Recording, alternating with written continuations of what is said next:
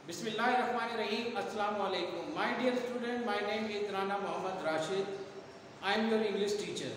Dear student, English class tenth में आज हमने ट्रांसलेशन पैराग्राफ वन से फोर तक करने ये ट्रांसलेशन पैराग्राफ उर्दू से इंग्लिश में हमने इनकी ट्रांसलेशन करनी होती उर्दू का पैराग्राफ आपको दिया गया होता है उस पैराग्राफ को आपने इंग्लिश में ट्रांसलेट करना होता है डियर स्टूडेंट पैराग्राफ को ट्रांसलेट करने के लिए दो चीज़ें जो है वो बहुत ही अहमियत की हामिल है, उनको आपने मद्देनज़र रखना है। पैराग्राफ को याद करने या उसको सॉल्व करने से पहले। सबसे पहले आपने पूरे पैराग्राफ का जो है वो जायजा लेना है कि उसमें कौन से टेंसेस इस्तेमाल किए गए सेकंड दूसरी बात कि हमें पता है कि इंग्लिश और उर्दू दो डिफरेंट लैंग्वेजेस हैं। और उनकी कंस्ट्रक्शन में भी थोड़ा सा फ़र्क है।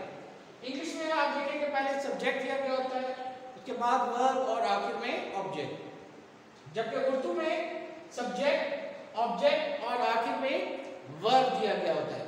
तो इस कंस्ट्रक्शन को उर्दू की और इंग्लिश की को मद्देनजर रखना है आपने, उसके बाद जो है उसको आपने ट्रांसलेशन करना है। तो ये पैराग्राफ नंबर 138 पर जो है grammar book Punjab textbook की वहाँ पर दिए हुए पैराग्राफ नंबर वन है। उसकी मैं आपके लिए ट्रांसलेशन कर रहा हूँ। मेरे घर के सामने एक बाग है। उसमें बहुत से पौधे और दरख्त हैं। बाहर के मौसम में कई रंग के फूल खिलते हैं। उनकी खुशबू एक दिन फैल जाती है। शाम को बाग आदमियों, औरतों और बच्चों से भर जाता है। लोग इधर उधर फिरते हैं और लुत्फ उठाते हैं। बच्चे बाग में दौड़ते हैं। और वो यहाँ दूसरे लम्हे वो बाग के दूसरे कोने में हैं। हर शाम मैं भी बाग में सैर के लिए जाता हूँ, बहुत से माली बाग की देखभाल करते हैं। ये पूरा पैराग्राफ हमारे पास प्रेजेंट टेंस में दिया हुआ है। तो लिहाजा अब आप जब इसकी ट्रांसलेशन करेंगे तो आपने मद्देनजर रखना है कि उसका जो टेंस है, वो आपने प्रेजेंट में लेकर आना है। मेरे घर के सामने एक बाग है। There is a garden in front of my house उसमें बहुत से पौधे और दरख्त हैं। There are many plant and trees in it बाहर के मौसम में कई रंग के फूल खिलते हैं। There bloom flowers are many colours in spring उनकी खुशबू इर्द गिर्द फैल जाती है। Their fragrance spread all around शाम को बाग आदमियों, औरतों और बच्चों से भर जाता है। In the evening the garden is filled with man women and children लोग इधर उधर फिरते हैं और लुत्फ उठाते हैं। People wander here and there and enjoy themself बच्चे बाग में दौड़ते हैं, अब वो यहाँ है और दूसरे लम्हे, वो बाग के दूसरे कोने में हैं। Children run around in the garden. Now they are here and at the next moment they are in the other corner of the garden. हर शाम मैं भी बाग में सैर के लिए जाता हूँ। बहुत से माली बाग की देखभाल करते हैं। I also go to the garden for a walk on every evening many garden look after the garden paragraph number two ज़िंदगी के नशे व फराज ऐसे लम्हात भी आते हैं। जब इंसान बिल्कुल नाउमीद हो जाता है। In the ups and down of life such moments come when man feels quite hopeless उसे हर तरफ़ अंधेरा ही अंधेरा नज़र आता है। ही फील्स अटरली डिसअपॉइंटेड और उसके मुकाबले की शक्कत खत्म हो जाती है। He loses his power to compete ये बात इंसान हजमत के खिलाफ है। This is against the dignity of man दुनिया में जितनी भी तरक्की हुई है, वो उस अजम व हिम्मत का नतीजा है, जो कि अल्लाह ताला ने इंसान को अता फरमाई है। All the progress the world has made is the result of the determination and spirit that Allah has bestowed upon man इंसान को चाहिए कि कभी हिम्मत ना हारे बल्कि मरदाना वार नाकामियों का मुकाबला करे Man should never lose heart. Rather, he should face failure in a manly manner. Allah ताला एक दिन ज़रूर कामयाबी अता करेगा. Surely Allah will bless him with success one day. Third paragraph. एक दफ़ा का ज़िक्र है कि गीदड़ एक दरिया के किनारे रहता था. Upon a time, a jackal lived near the bank of a river. दरिया के दूसरे किनारे पर खरबूजे के बहुत से खेत थे. There were many fields of melons on the other side of the river.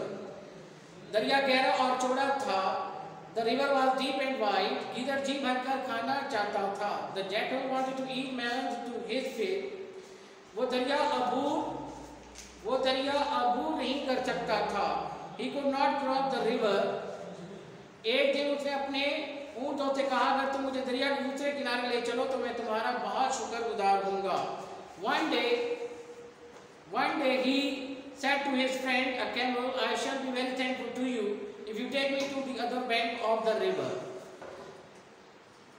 ऊँट रजामंद हो गया द कैमल एग्रीड गीदड़ ऊँट की पीठ पर छलांग लगाकर चढ़ गया।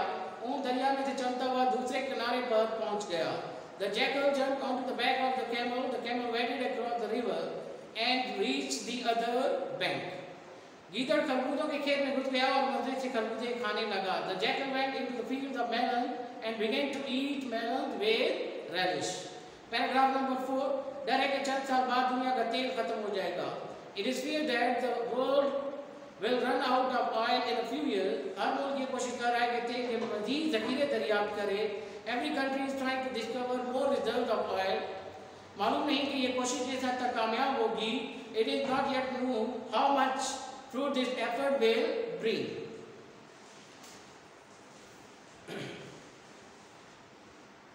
ज़रूरत इस बात की कि हम अपनी तेल की ज़रूरत को कम करें the need is that we should reduce our need of all Sanat और ज़रात में तेल की खपत को कम नहीं किया जा सकता the use of oil for industry and agriculture can not be reduce अलबत्ता निजी ज़रूरतों को कम किया जा सकता है। But the private need can be cut down हमें चाहिए कि बाहर सरकारों की जगह बस से दरामद करें ताकि तालब इलमों के लिए बसों की सहूलत को बेहतर बनाया जा सके। We should import buses instead of cars so that the facility of buses for the students can be improved. Dear student, I hope कि आपको इन पैराग्राफ की अच्छे तरीके से ट्रांसलेशन समझ आ गई होगी।